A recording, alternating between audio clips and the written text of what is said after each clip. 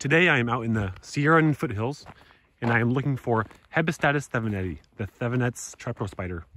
And this is one of two corklid spider species that we have here in uh, California. Little areas like this are what I'm checking. You can see in here, the erosion isn't too bad. You'll see there's little bits of moss in here, which indicates that the erosion is not terrible. And uh, spiders like to make their burrows where they're not going to be just going with the rain the, the very next year. So these are the areas you have to check. Look at this. An old burrow. This is silk that I'm taking apart here. And right next to it, a currently active burrow. Uh, this one I'm going to dig up. Three, two, one. So you just saw me take the lid off and here it is. Has kind of a funny shape, has two little ears where the hinges end. And now I'll dig up the rest of it. I was kind of hoping that the spider would sort of be at its entrance, but it turns out that it is stuck shut because um, it's been fused just slightly.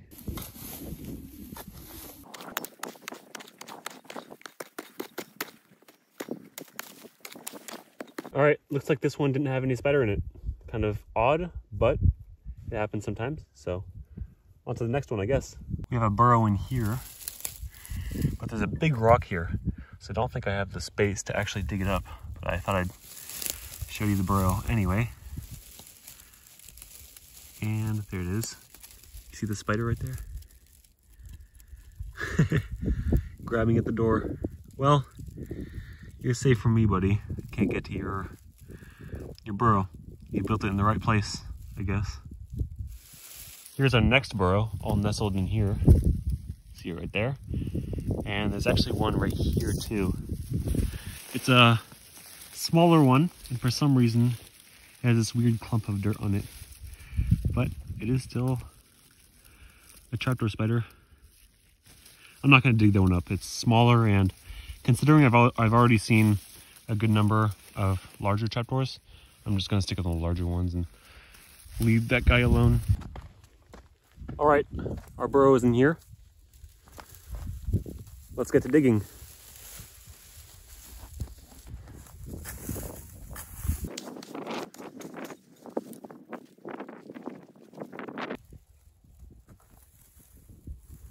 I just saw the spider uh, shoot out. Here's our door. Here's our door right here. Nice one. And uh, the spider keeps poking out but there's no way of getting him out until I reach the end. But these guys have a really short um, burrow. That's why it was so easy to get to the end of the last one. Uh, so it'll only take a minute or two more.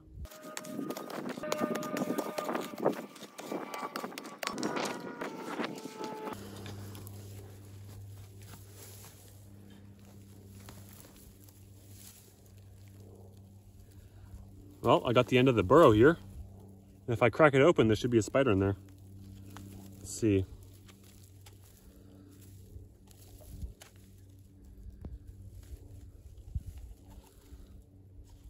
I don't want to hurt the spider, of course.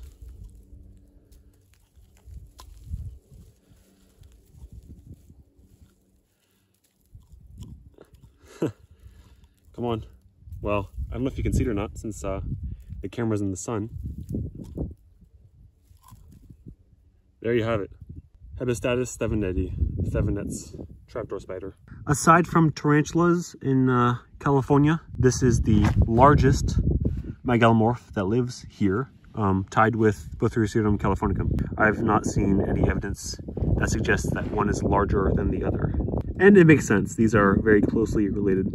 And although these are defensive spiders, if you poke them, especially near the cephalothorax, if you just let them walk on their own accord, well, this one's just sitting here, but if you let them do their thing, they generally won't strike at you. Although I have met trapdoor spiders that just staying still like this would strike at anything below them or near them. And here we go. Now it's on the move.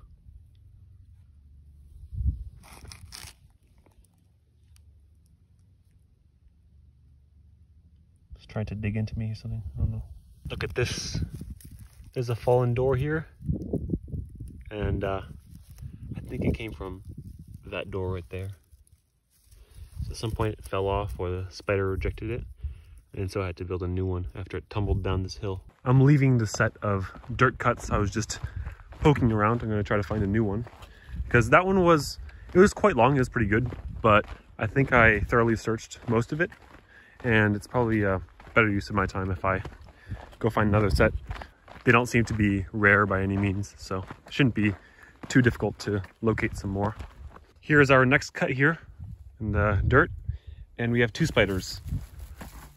One of them is here, the other one is on the side here. That one's slightly smaller, and I'm only looking to dig up two adults. All right, time to get working on this one. I'm gonna take the door off first as usual. Ready? Let's do it.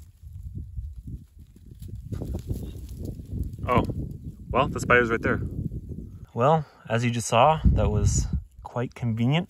I just took off the burrow and the spider was there with it. This is the first time I've ever experienced this. And right now, the spider is still holding on to the burrow um, door. And I can't pull it up because it thinks that it's still in there. And there it is in there. And those two little holes you see there on the burrow lid. Those are for her hooks when she wants to pull the door down. Sometimes there's more of them. Anyway, I'm gonna hold on to this burrow, of course. If I want to keep her, I'd like to keep her house as well. So she doesn't have to make a new one, or at least make an entirely new one. And if you're wondering what the difference between this is and Bothriocyrtum californicum, the California trapdoor spider, I'll show you if it sits still. If we look at the third pair of legs down, one, two, three, in this upper segment, which is the patella, there's this little notch between that patella and the uh, tibia, I believe it is. So it's extremely subtle, but I promise you this is diagnostic for the genus. This little notch here, this little indentation, that's not very visible, is something that sets, sets this apart from the California trapdoor.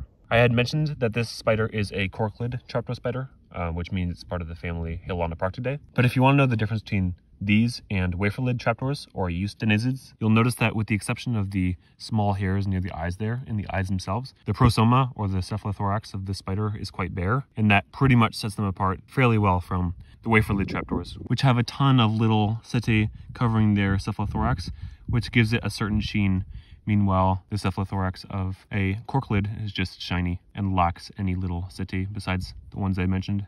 For some reason, this particular spider is quite chill, for being this species at least. And I can flip it over. You can see the underside there, which usually we can't do.